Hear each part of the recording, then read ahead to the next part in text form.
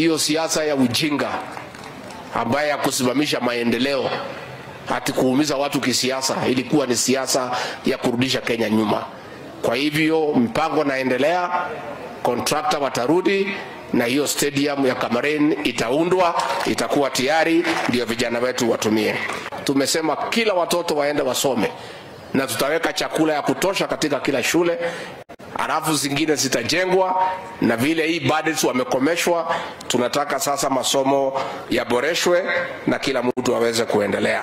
Mabawa yetu ya Arol and Kimorel ambayo ilisimamishwa kwa siasa ingine ya ujinga, hatu walijaribu kuumiza nyinyi kwa sababu mlikuwa mnaunga William Ruto mkono, wakasimamisha hiyo madams, wakalete uongo, mtu alikuwa anaitwa Kinoti akakarabati maneno ya ujinga ya uongo, ati iko ufisadi iko nini.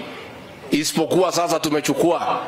Kenya ingeenda hasara kubwa, kwa sababu huyo kontrakta alikuwa ametupeleka kotini huko Uingereza. Ya kwamba tumlipe hasara kwa kusimamisha kazi bila sababu.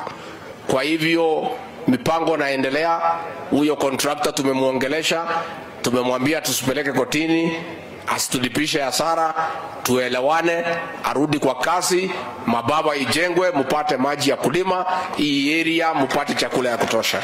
Kwa hivyo hiyo maneno yote naendelea. Mambo ya mashule tumesema kila watoto waende wasome, na tutaweka chakula ya kutosha katika kila shule halafu zingine zitajengwa na vile hii budgets wamekomeshwa, tunataka sasa masomo yaboreshwe na kila mtu aweze kuendelea.